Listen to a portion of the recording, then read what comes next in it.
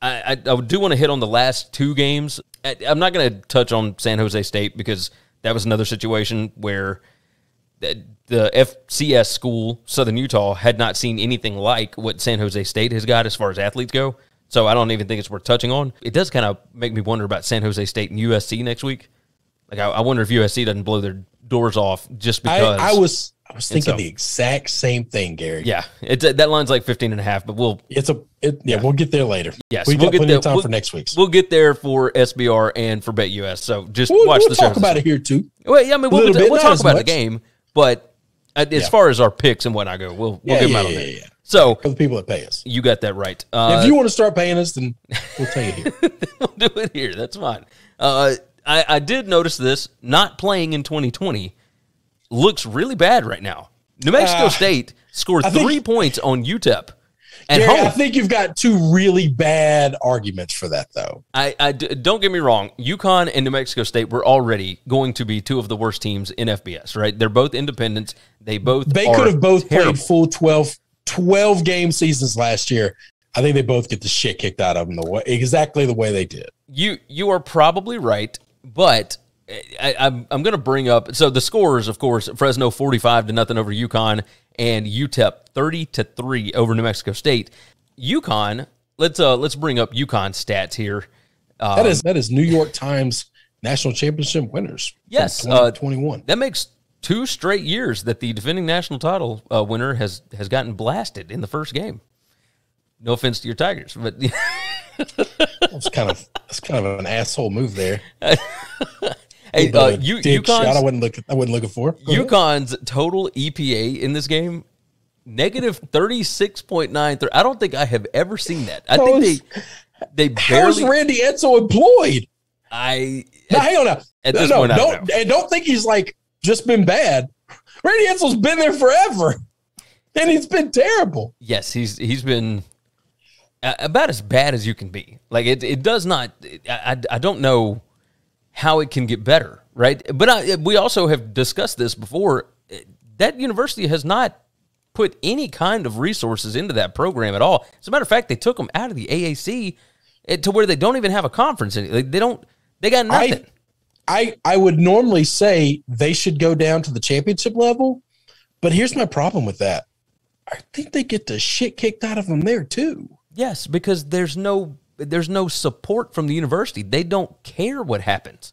Like I I don't understand it at all. But looking at So the so so here's the here's the problem with that. So there's there's nothing we can look at on these two games. Okay, there's nothing to talk about. here we go. Hold all on. This is what I wanted to bring up. Uh, UConn Yeah, bring that up. Uh, had 107 total yards in this game, and they had da, da, da, 107 total yards.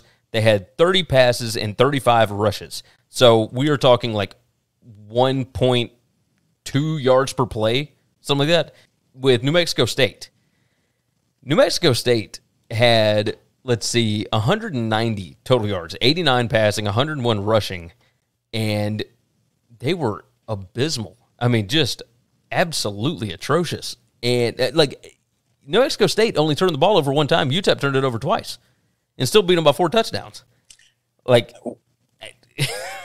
So let me let me talk to you about your your they don't care about football up in UConn. A few years ago, and uh, maybe two or three, man, they spent like six million dollars on a new locker room for those guys. Now, obviously, that's a drop in the bucket to like SEC country money for like practice facilities and all that stuff. But uh, and maybe I'm gross exaggerating this. Maybe it was like a million bucks. I don't know. Maybe a million dollars in up in north, you know, the Northeast doesn't go as far as it does down here, which it obviously does not, I assure you. But like they updated their facilities and did a bunch of stuff. Now, I think it was all in the locker room. I don't, I, I yeah, I don't, I couldn't, it obviously doesn't look like an SEC school. It doesn't look like even most American schools.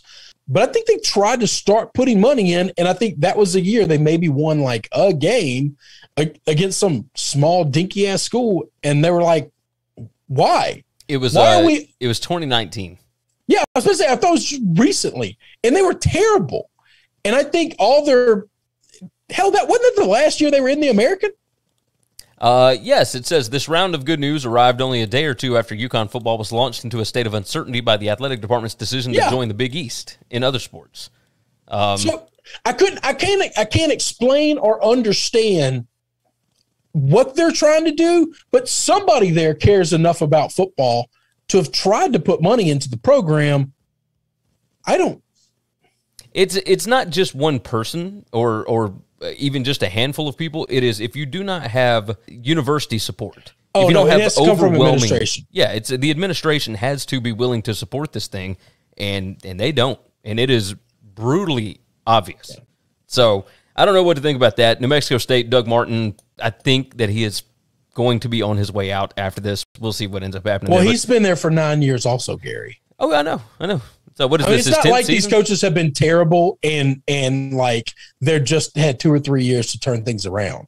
They've been terrible and have been there for a decade. Well, they so there was discussion Not of Edsall. Martin. Edsall left and then came Like- back. And it was basically heading into 2020 after the 2019 season it was like okay we have got a coach that's got like a couple of years left on his deal and we don't really feel like paying the buyout so oh yeah, but I believe his contract is up at the end of the season. It so is. it's not going is. to pay anything to to get No. him out of there. So, I mean, we'll see. I, it just depends on what they feel like doing, what they want to do. But by the way, Fresno State looks absolutely fantastic. I think they are going to be a force to be reckoned with. Jake Haener is awesome hey, quarterback. do you think they're going to be a force to be reckoned with, or do you think UConn's just that bad? I think UConn is really really bad, but I if do they played the San Jose, would would that game would have been a lot different, right? Yes, I think it definitely would have been different, but I do think the Fresno State uh, with Ronnie Rivers at, at running back, like they got ton of weapons at wide receiver, and Yep. Kalen DeBoer, like I've, uh, you and I have talked about him many times. He's the, the We new have. head coach there. He was the OC there under Jeff Tedford, and they were a covering machine. Machine. That offense was awesome. And remember, he was at Indiana for one season when they finally got things turned around and started bowling there under Tom Allen. And then he came back and took the head coaching job at Fresno. Like I, I trust DeBoer. Like last No, year, I, I do too. I know, do too. I do too. last year them in this season- game and, and, and everything, and I you know, and I like I like a school like that going up into the Power Five area and getting a getting a big time transfer quarterback. That's probably your best bet. Like if you're these smaller G five schools, that's got to be your best bet than recruiting, right? Yeah. is just is just go pick off players that were too good at one point in time to come to your school. They've got a year or two under them, so you don't have as much coaching and training to do. You just bring them in, show them your system, but you kind of know what they can do and know what they can't. And and I like those situations for these G five schools. yes, They went up to Washington, got him a quarterback, says, I know what this guy's abilities are. He's not going to start there. Hey, come start for me, baby.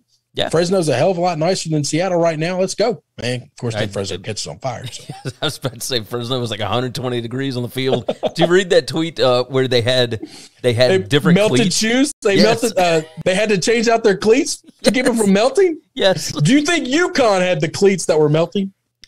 Probably. They probably didn't bring extra cleats. Just a guess. Just a guess. Hey, by the way, do we take anything from the Utah or uh, not Utah? Uh, UTEP beatdown? Like it's Dana Dimel's team, like ready to go bowling and stuff, or No, no. I don't think so. I'm not. I'm not. I'm not taking anything from any of these games outside of the fact that I went three and one this weekend, and and the one game I got two extra bets on. I hit both of those. It was just everything against UConn. Just that makes sense. That makes sense. insane. No, I, I bet uh, Fresno first half line. Uh, Fresno first game. half. UConn's under team total. Fresno's over team total. And uh, and then Fresno for the game was the pick I had. And like that, the only thing I missed on was Hawaii, and I missed way wrong. If you told me that Hawaii was going to score less than 20 points, I would I would have bet a lot of money on that. I think their team total was like 23 and a half, 24 and a half. Yeah, I think it, I think you got Um, the 24 and a half by game time. it clo- it closed at 24 and a half because that's that's where I gave it out on our live show. But but man, I, I'm going to tell you, there ain't no way on earth I thought this team wasn't going to score 20. Yeah, I kind of I kind of felt the same wrong. way. I missed. That's the only thing I missed. Everything else Saturday kind of went according to plan. Outside of Illinois actually won the game, which I love seeing. I just didn't have it. Yeah, no, it, it makes sense. Makes sense. Thanks for listening to the Winning Cures Everything podcast. The website is winningcureseverything.com, and if you want to connect with us, we're on Twitter at Gary WCE, at Chris B. Giannini, at Winning Cures, or you can email us, Gary at winningcureseverything.com or Chris at winningcureseverything.com. Subscribe everywhere you need to subscribe, and we'll see you soon.